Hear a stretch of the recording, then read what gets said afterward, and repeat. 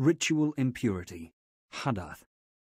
Ritual impurity, hadath, refers to the state of intangible uncleanliness that prevents a Muslim from offering the prayer until he removes it. It is not physical, like najasa.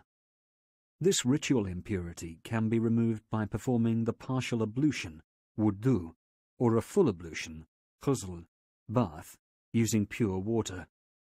Pure water is water that has not been in contact with any physical impurities that might otherwise change its colour, taste or smell.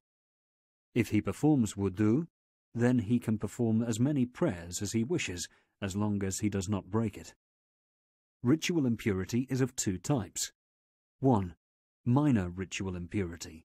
This can be removed by performing wudu, partial ablution. 2. Major ritual impurity. This can be removed by performing ghusl, ritual bath.